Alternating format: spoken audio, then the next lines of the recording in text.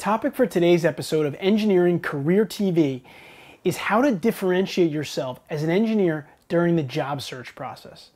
This was actually a very short question I got from Malapati, and I almost discarded it because it seemed general in nature. But then, the more I thought about it, the more I realized how important it is.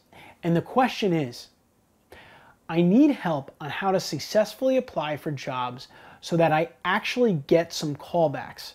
I've been applying to a lot, but I'm not getting any calls.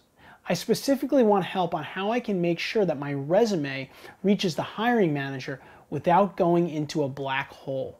Thank you. Great question, Malapati, and it's a really, really important one actually.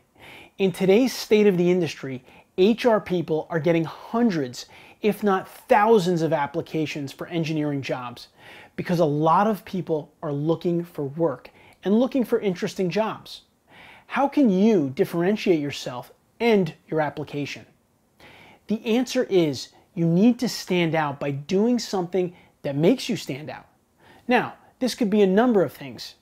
It could be the subject line on the email that you send to an HR person. Like the subject, as opposed to saying job application, you could write something like, How I can help your engineering company win more projects and talk about how you're good at business development in the cover email. It could be creating an audio file or a video file that goes with your application. I just did this myself applying to speak at a conference. It's a very popular conference that gets a lot of speaking applications, and I know that my chances are going to be tough to get in. So I took the time to set up my video equipment, I did a script, and I did a couple of videos with my application, and I haven't heard back yet, but I did receive some early positive indications from the person that runs the conference. This is probably because not a lot of people took the time to do a video application. The point is, you have to stand out.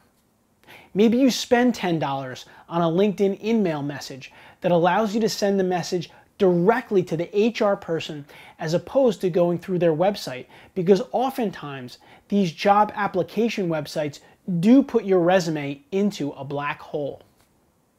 So consider these different ways that you can stand out. Like I said, an audio visual presentation, an interesting email subject line, going through social media as opposed to posting on their job site. Do something different, Malapati. That's what's going to get you callbacks.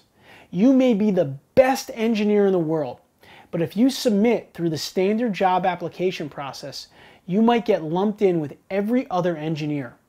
It might just be the luck of the draw, quite frankly, on who they call back. Always strive to differentiate yourself as an engineer every day. I hope you found this episode of Engineering Career TV helpful. Remember, you can go to engineeringcareercoach.com forward slash ask and submit your question.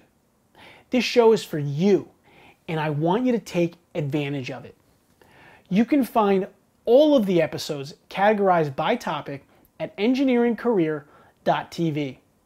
If you would like to discuss issues like this and other engineering career goals and challenges, I recommend you join the Engineering Mastermind, an online support community we have created for engineers at theengineeringmastermind.com.